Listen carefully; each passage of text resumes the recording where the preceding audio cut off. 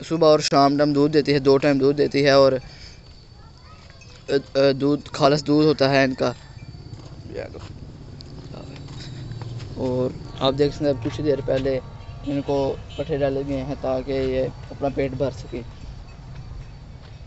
उस तो ये है घोड़ा है और इसको हमने रखा हुआ है ताकि हम इसके ज़रिए इन जानवरों के पट्टे ला सकें इसका भी बहुत फ़ायदा है।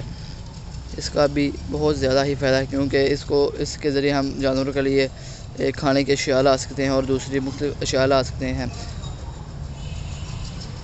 और अशिया और हम इसे बहुत काम ले सकते हैं। आप देख सकते हैं।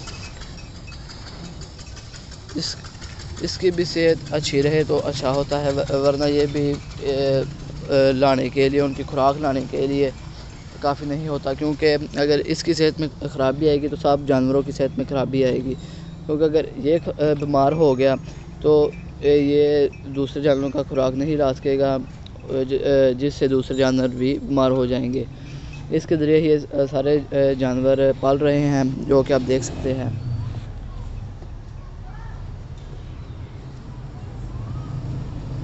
इस वक्त यही इन सब का मसीहा है।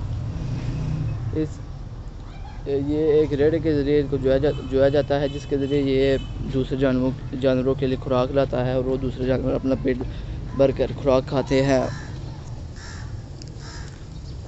ये देखें।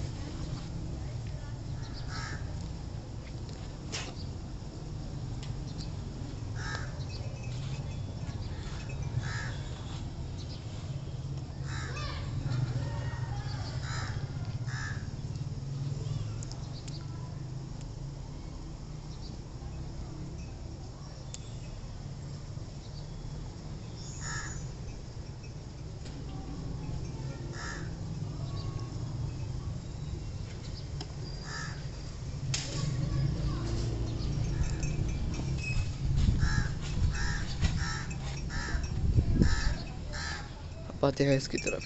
ये ये जी बकरी का बच्चा है, जो कि पिछले साल इसी, यही मौसम था जब ये पैदा हुआ है। अगर जो है ना, किसी जानवर की औलाद हो, वो सर्दियों में हो तो उसे डांटना ही अच्छा रहता है।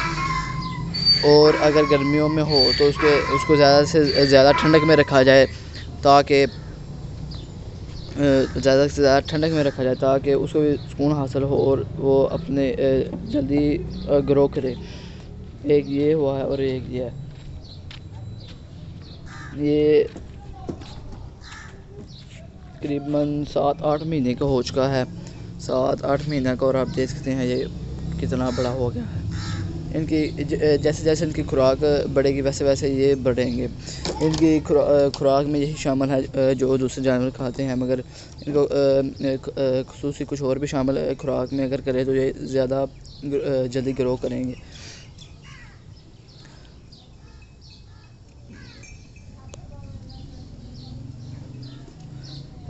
और ज़्यादा जल्दी ग्रो करेंगे, और अगर आप इन टाइम जानवरों जानवरों को शाम टाइम खसूस जो कुर्बानी के जानवर हैं उनको शाम टाइम लेके जाना चाहिए शहर पे बाहर लेके जाना ताकि उनके टांगे खुले और वो अच्छा महसूस करे और ये भी एक रीज़न है कि इस इसके ज़रिए इनकी ग्रोथ में इजाफ़ा होता है।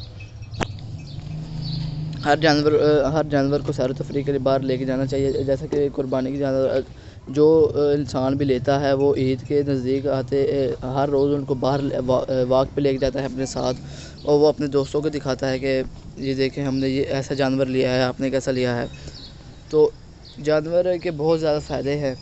कुर्बानी कुर्बानी के ज़्यादातर कुर्बानी का जानवर हर इंसान के लिए जो वो ख़रीदता है, उसको अपना लगता है, लेकिन जब वो कुर्बान होता है तो उसे उसे भी दुख होता होगा। मगर जब कुर्बानी के जानवर आता है तो रहमत भी उसके साथ उस घर में आती है। कुर्बानी के जानवर को हर रोज़, हर तकरीबन जो भी ख़रीदता है, शहर के लिए लेके जाता है, ताकि उसकी भी टांगे खुले और वो सेहतमंद रहे और उसको अच्छा से अच्छा खाना देता है, ताकि उसकी सेहत में इजाफ़ा हो और वो कुर्बानी में एक अच्छा जानवर